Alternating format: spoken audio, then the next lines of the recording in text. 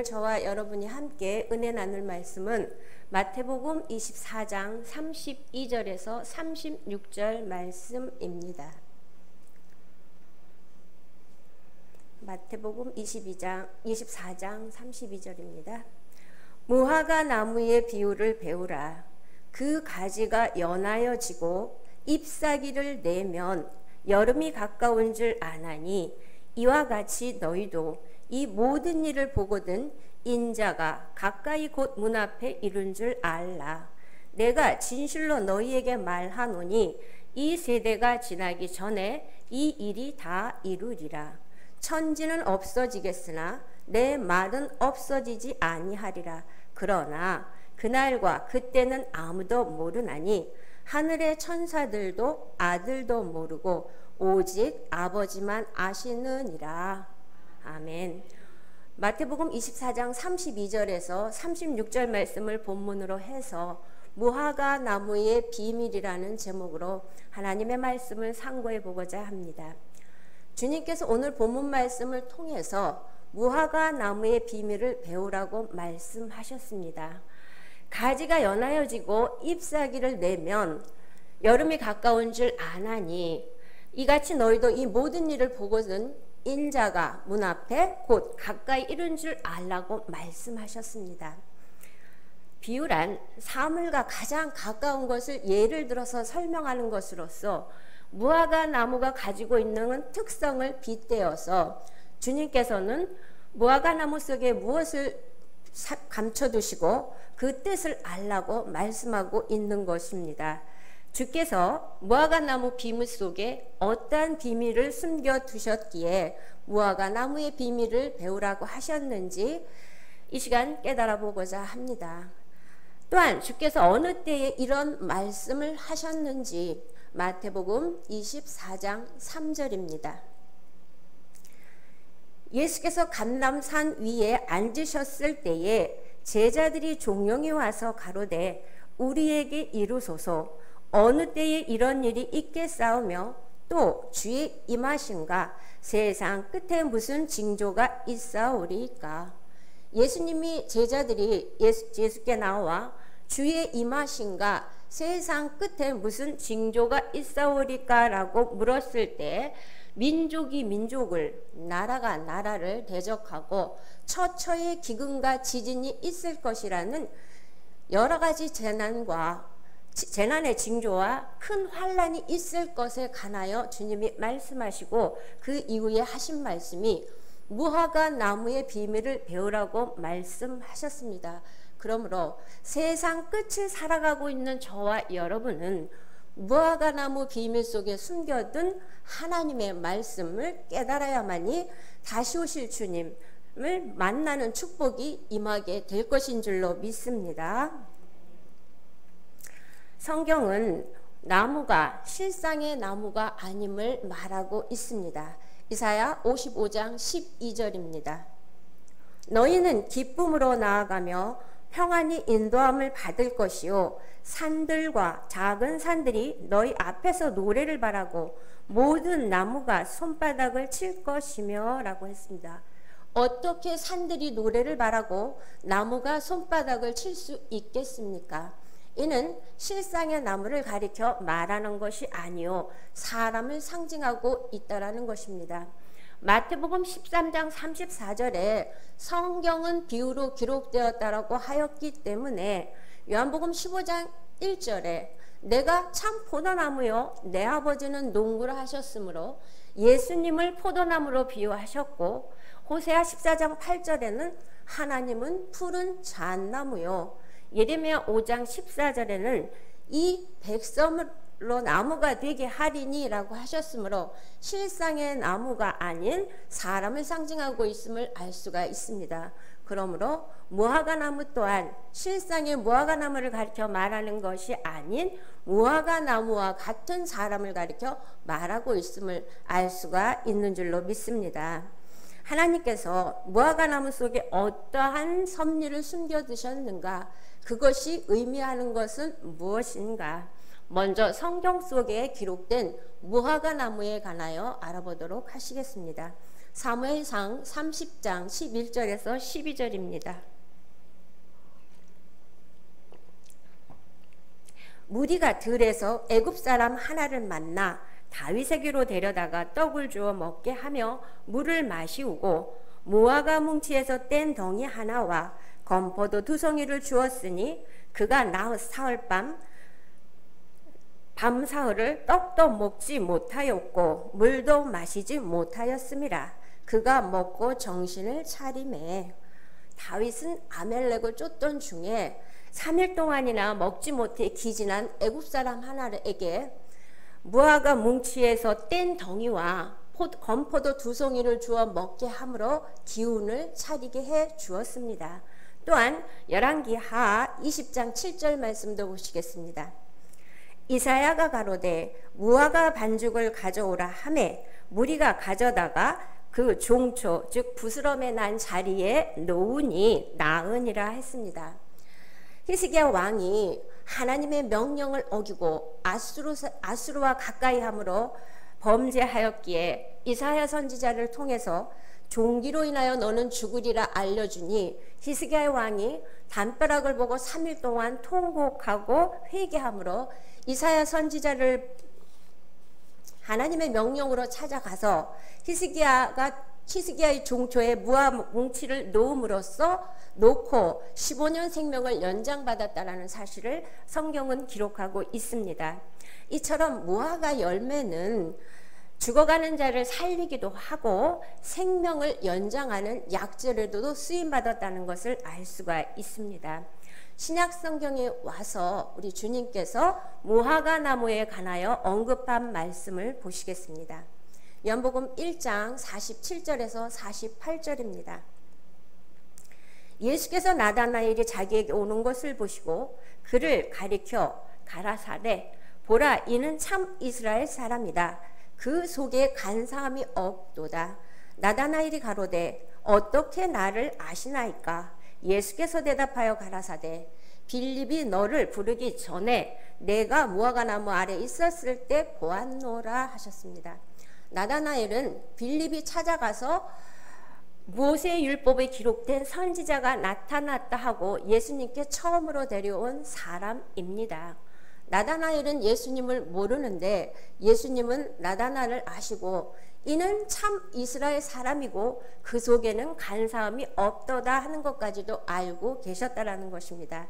주님이 그를 만나자 빌립이 너를 부르기 전에 내가 무화과 나무에 있을 때 보았노라 말씀하신 것은 거주적인 말씀으로 하신 것뿐만 아니라 영적인 말씀으로서 하나님의 어떤 약속된 섭리 안에 있었을 그때에 내가 너를 보았다라는 말씀인 것을 알 수가 있습니다.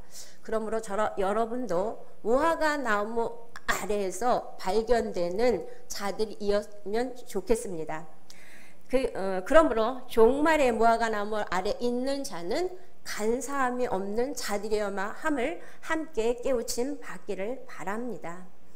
예수님이 무화과 나무를 통하여 비유하신 말씀을 보시겠습니다. 누가복음 13장 6절에서 9절입니다.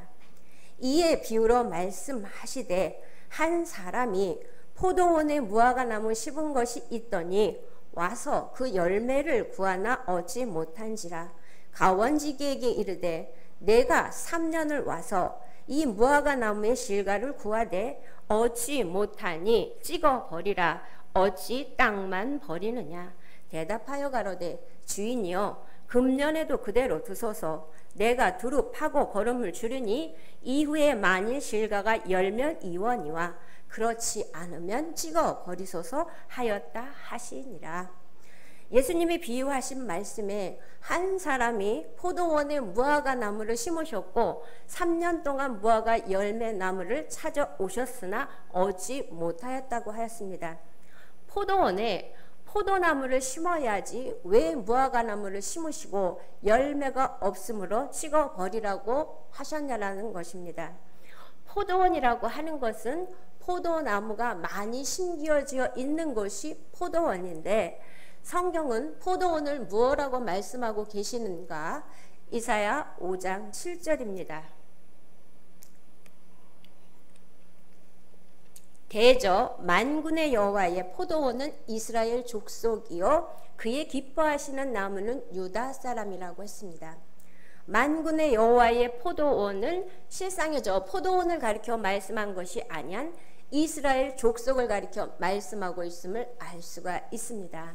호세아 10장 1절 말씀에 이스라엘은 열매 맺는 무성한 포도나무라 그 열매가 많을수록 재단을 많게 하며 그 땅이 아름다울수록 주상을 아름답게 하도다라고 하시므로 이스라엘이 열매 맺는 무성한 포도나무라고 했으니 포도나무는 요한복음 15장 1절에 예수님이신 고로 예수 열매 다시 말해서 예수 안에 있는 예수를 믿는 모든 사람들을 영적인 영적 이스라엘이라고 비유하고 있음을 알 수가 있습니다.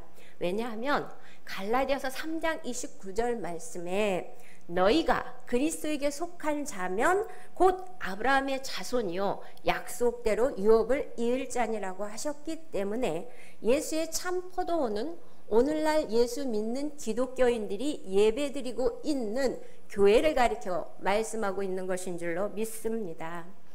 하나님이 포도원에 무화과 한 그룹 나무를 심으시고 무화과 열매를 3년이나 기다리셨지만 무화과를 찾지 못하셨습니다. 포도밭에 무화과 열매가 열렸나 안 열렸나를 보러 오셨던 것입니다. 무화과라고 하는 것은 열매가 없는 아, 꽃이 없는 열매입니다.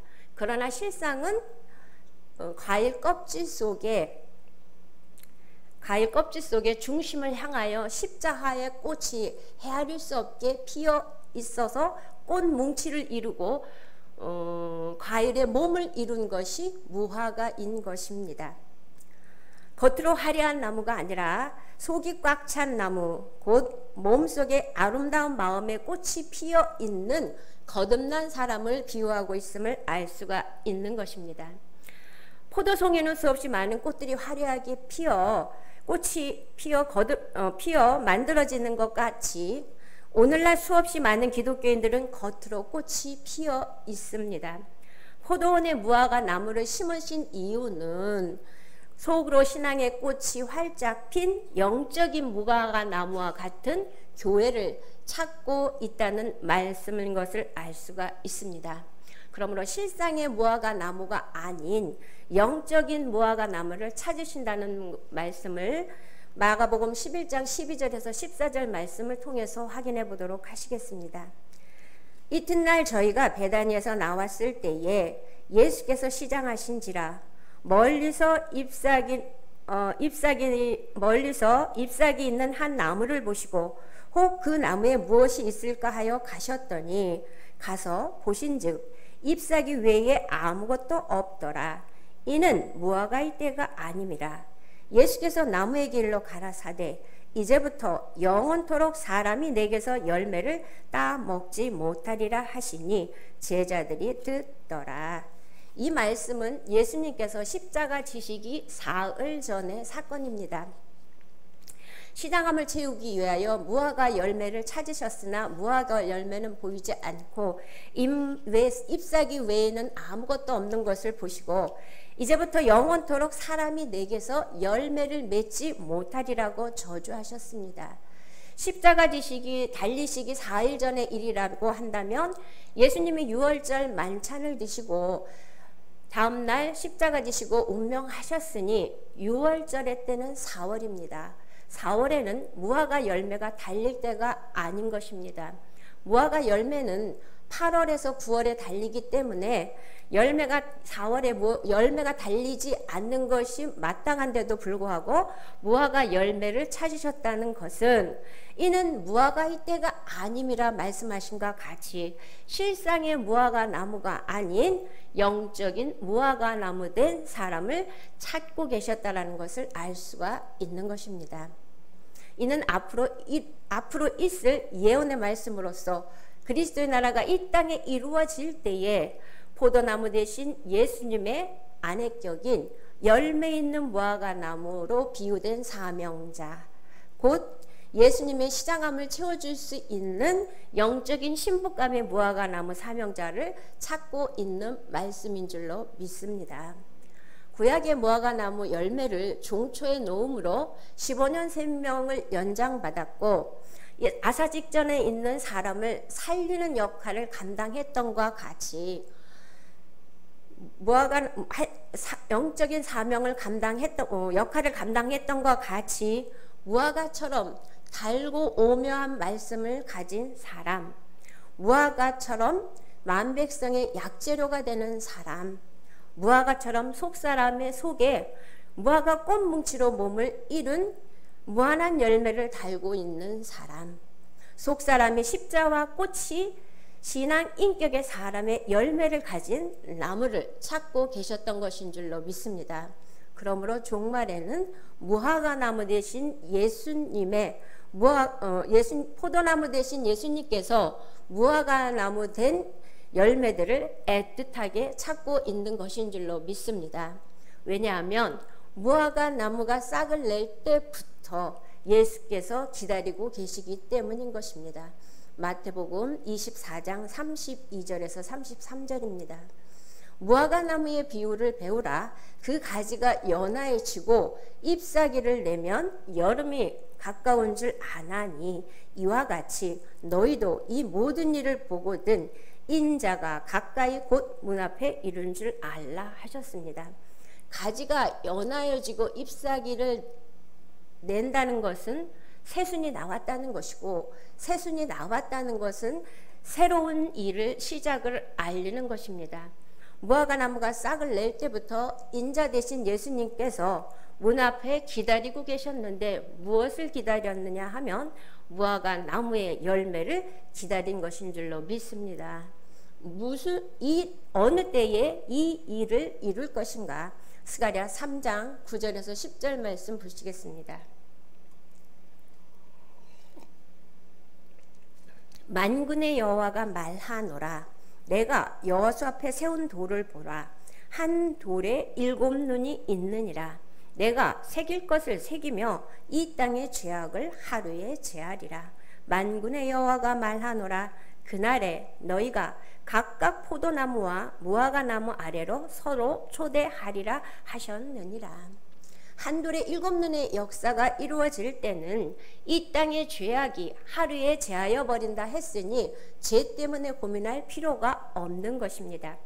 그날에 각각 포도나무와 무화과 나무 아래 쳐도 서로 초대한다 했으니 스스로 죄인임을 고백하고 있는 신앙인들은 결단코 포도나무와 무화과 나무의 초대를 받지 못한다는 사실도 함께 깨우침 받아야 할 것입니다. 포도나무는 예수님이신데 신랑 대신 예수의 아내들 신부감 무화과 나무가 없어 하나님께서 그 무화과를 찾고 계셨으니 한 돌의 일곱 눈의 역사를 통해 이루어지게 될 줄로 믿습니다. 그동안에는 무화과 나무가 열매가 없었지만 이제 무화과가 싹을 내고 잎을 내서 열매를 맺게 되면 그 열매는 무화과 나무 비유 속에 숨겨둔 하나님의 비밀을 깨달은 여러분이야말로 무화과 나무가 되는 것인 줄 믿습니다. 무화과, 포, 무화과 나무와 포도나무는 이름은 다르지만 그 맛은 같습니다. 포도나무는 겉으로 꽃이 활짝 피고 무화과 나무는 속으로 꽃이 활짝 피게 되는 것이니 둘 다 만나 한 몸이 되면 겉과 속의 꽃이 활짝 피게 될 것입니다. 포도나무와 무화과나무 아래 서로 초대의 일을 계시록은 어떻게 기록하고 있는가? 계시록 19장 7절에서 8절입니다. 우리가 즐거워하고 크게 기뻐하여 그에게 영광을 돌리세 어린 양의 혼인 기약이 이르렀고 그 아내가 예비하였으니 그에게 허락하사 빛나고 깨끗한 세마포를 입게 하셨은즉 이 세마포는 성도들의 옳은 행실이로다 하더라. 어린 양의 아내가 빛나고 깨끗한 세마포를 입었다고 했는데 이 세마포는 성도들의 옳은 행실이라고 했으니 성도들의 옳은 행실에 한 성도들의 옳은 행실을 한 사람이 입어버린 것이 바로 무화과인 것입니다. 계시록에 보면 어린 양의 아내 된 자는 14만 4천의 의로운 옷을 입어야 하는데 한 사람이라도 옷이 더럽혀진다면 전체의 옷이 더럽혀지는 것이기 때문에 무화가 된 어린 양의 사명자는 참으로 되기가 힘들다는 것을 알 수가 있는 것입니다. 이는 마치 무화과 속에 수많은 꽃들이 피어 있지만 열매는 하나인 것과 같은 이치인 것입니다. 종말의 구원의 역사는 무화과의 역사입니다. 속으로 꽃이 피기 때문에 겉으로 화려하게 나타나는 것이 없는 것입니다. 그러나 무화과 나무와 포도나무가 서로 만날 때 평화의 시대가 이룰 것을 성경은 말하고 있습니다. 그때가 어느 때인가? 미가서 4장 1절에서 4절 말씀 보시겠습니다. 말일에 이르러 여호와의 전에 산이 산들의 꼭대기에 굳게 서며 작은 산들 위에 뛰어나고 민족들이 그리로 몰려갈 것이다.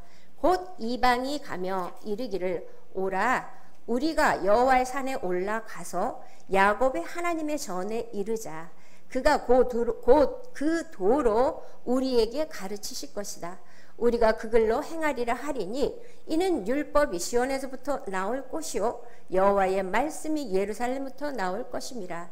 그가 많은 민족 중에 심판하시며 먼 곳 강한 이방을 판결하시리니 무리가 칼을 쳐서 보습을 만들고 창을 쳐서 낫을 만들며 이 나라와 저 나라가 다시는 칼을 두고 서로 치지 아니하며 다시는 전쟁을 연습하지 아니하고 각 사람이 자기 포도나무 아래와 자기 무화과 나무 에 앉을 것이라.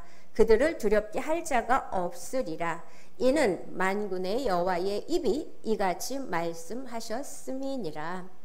말일에 하나님의 성전이 산들 위에 굳게 세움을 입을 때에 여호와의 말씀이 시온산과 예루살렘에서 나온다 하셨고 그때에 칼을 쳐서 보습을 만들고 창을 쳐서 낫을 만든다는 것은 전쟁의 무기를 평화를 상징하는 농기구로 바뀐다는 것이니 이 나라가 저 나라를 다시는 칼로 치지 아니하고 전쟁을 연습치 않은 것을 보니 평화의 시대가 올 것을 예언한 말씀인 줄로 믿습니다.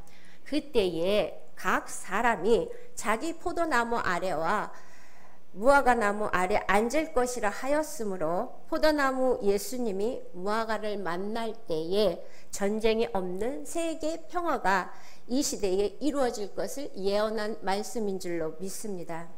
오늘날 이 시대의 기독교인들이 무화과 나무의 비밀을 깨닫지 못한다면 지구상에 이루어지는 전쟁이 없는 평화의 나라, 곧 그리스도 나라에 들어갈 수 없게 될 것입니다. 포도나무와 무화과 나무의 만남은 구약 시대에 솔로몬 시대 때도 남북이 갈려 원수 지간으로 지내면서도 40년 동안 전쟁이 없이 안연하게 곧즉 어, 마음이 편안하고 태평스럽게 살았다라고 성경은 기록하고 있습니다. 열왕기상 4장 24절에서 25절입니다. 솔로몬이 하수 2편을 딥사에서부터 가사까지 모두 다스림으로 하수 이편의 모든 왕이 다 가나란 바 됨에 저가 사방에 둘린 민족과 평화가 있었으니 솔로몬이 사는 동안 유다와 이스라엘이 단에서부터 부엘세바에 이르기까지 각기 포도나무 아래와 무화과 나무 아래서 안현히 살았더라 라고 했습니다. 이처럼 포도나무와 무화과 나무의 만남은 평화를 상징하고 있음을 알 수가 있습니다. 오늘날 세계 곳곳에 여러 나라들이 틈만 나면 자기 나라의 영토를 확장하고 자국의 이익을 위하여 전쟁이 벌어지고 있는 이 상황이니 어찌 민족의 평화와 안연함을 누릴 수 있겠습니까? 오직 완전한 평화는 포 도나무와 무화과 나무 서로 만남을 통해서만이 이루어지는 그리스도 나라뿐임은 성경을 말하고 있는 줄로 믿습니다. 이제 우리 모두는 포도 우리 모두는 포도나무 대신 예수님이 찾으시는 속 사람이 아름답게 꽃피는 무화과 나무가 되어야 할 것인 줄로 믿습니다. 본문 말씀 보시겠습니다. 무화과 나무의 비유를 배우라. 그 가지가 연하여지고 잎사귀를 내면 여름이 가까운 줄 아나니 이와 같이 너희도 모든 일을 보거든 인자가 가까이 곧 문 앞에 이른 줄 알라. 우리가 무화과 나무가 되어 마음속에 간사함이 없고 근실하고 착하고 아름다운 새잎 새싹을 낼 때에 우리가 주님을 찾아가는 것이 아니요 주님이 무화과 나무 잎을 낸 곳인 문 앞에 와서 계시, 계시는 줄로 믿습니다. 무화과 나무 열, 이 무화과 나무 열매로서 이거 갈 때에 신랑 대신 예수님을 모시는 축복을 받게 되는 것인 줄로 믿습니다. 34절입니다. 내가 진실로 너희에게 말하노니 이 세대가 지나기 전에 이 일이 다 이루리라. 천지는 없어지겠으나 내 말은 없어지지 아니라 하셨으니 하나님이 계획하시고 작정하신 대로 하늘의 섭리를 이 땅에 분명히 기록된 대로 이루실 말씀인 줄로 믿습니다. 36절입니다. 그날과 그때는 아무도 모르나니 하늘의 천사들도 아들도 모르고 오직 아버지만 아시느니라 라고 했습니다. 그날과 그때는 아무도 모르고 아버지만 아신다 했으니 아버지 대신 하나님을 알게 되면 분명 알 수가 있는 것입니다. 하나님은 요한복음 1장 1절에 말씀으로 존재하신다고 하셨으므로 기록된 하나님의 말씀을 통해서 하나님의 깊은 차원의 말씀을 깨달을 수 있는 속 사람이 알차게 무르익은 무화과 나무가 되어야만 할 것입니다. 무화과 나 무화과 때인데도 입만 무성하여 찍어버림을 당하는 무화과 되어서는 아니 될 것인 줄로 믿습니다. 무화과 나무 비유 속에 숨겨두신 하나님의 깊은 뜻을 깨달아 겉 모양만 포도송 포도나무 꽃이 되지 말고 우리의 몸과 마음이 주님의 신랑을 모실 수 있는 속사람이 거듭난 무화과 열매가 되어 이 땅에 전쟁이 없는 그리스도의 나라가 이루어질 때 함께 참여하는 축복이 임하시기를 간절히 바라면서 말씀을 마치도록 하겠습니다.